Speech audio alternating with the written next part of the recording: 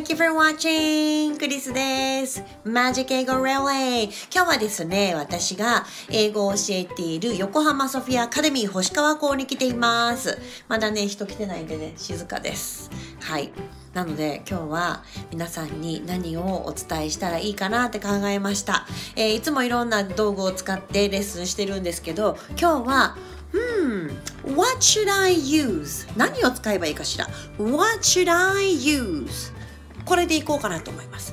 What should I use? せーの。What should I use? そうなんです。いろんな教材があるんですけれどもね、何を使おうかなと思ってます。What should I use? そう、私がよく使うのは、えっ、とね、ここの棚にしまってるんですけど、あ、開かないね、開かないね。よいしょ。じゃじゃーん。おすすめ、これです。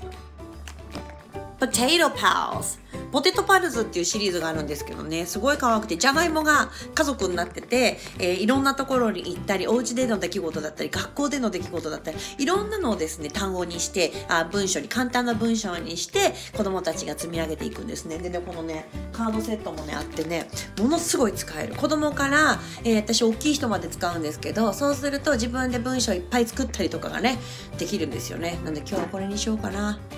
はい。What should I use? 皆さんもいきますよ。What should I use? せーの。What should I use? 後ろがね、ちょっとね、ざわついておりますけれど、すみませんね。せーの。What should I use? せーの。What? ちょっと待って、言われてた。What should I use? せーの。What should I use? はい。